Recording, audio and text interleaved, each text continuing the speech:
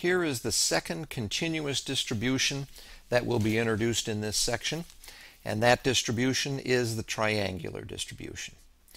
The triangular distribution is useful when there is no data available, and this can occur sometimes in practice. As an example, in the summer of 1985, I worked at NASA Langley in uh, Virginia, and at the time I was writing a discrete event simulation model of the space station that was to uh, go up in the future. And one part of simulating that space station was the assembly of a truss structure up in space. And there was no data available on how long it would take to assemble that truss structure. So what I did was I went to one of the NASA engineers that had been there a long, long time. He he actually worked some of the Apollo missions back in the 1960s.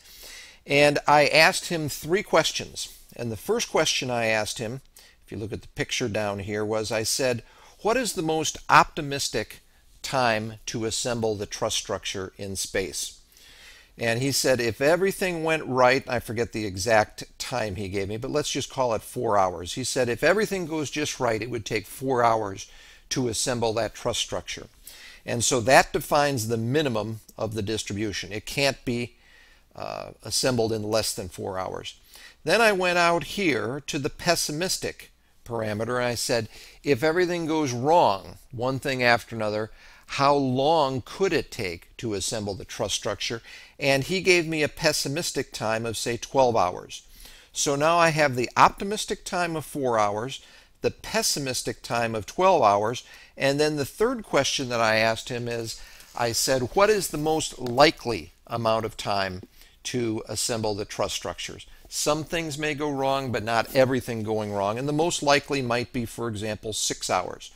So now with these three parameters, four hours, six hours, and 12 hours, those define the minimum and the mode and the maximum of the triangular distribution.